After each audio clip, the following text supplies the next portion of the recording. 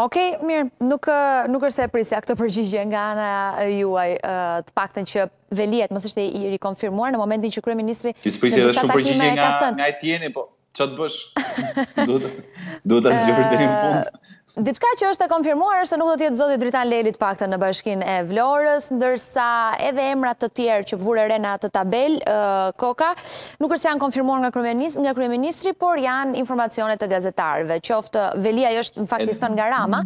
Po, po, po do po, ndryshe po. Po, po. po është është është është është më shumë më shumë se i thënë është i spinuar sikur zoti Rama zoti Rama ka thënë po zot, nuk ka një deklaratë plotë të zotit Rama që unë e konfirmoj Erion Veliaj për një mandat të tretë. Sigurisht që nuk ka një emër më të mirë se sa Veliaj për t'u ofruar, ka thënë.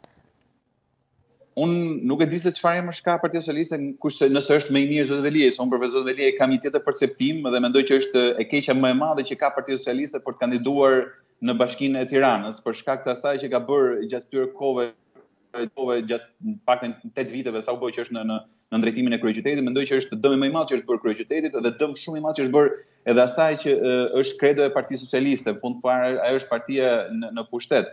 por mendoj që ajo që duhet kuptuar dhe duhet analizuar në këtë pikë ka të bëjë me faktin se pse për shembull nuk e do Edi Rama Dritan Lelin. Dhe dhe këtu vijmë si me thënë tek ajo autokracia që e karakterizon Partinë Socialiste që e ka asgjësuar sistemin e votës një herë e mirë me ndryshimet statutore të vitit 2000 2017 ose 2016 ku u zhduk vota dhe i vetmi njeri që vendos është Edi Rama.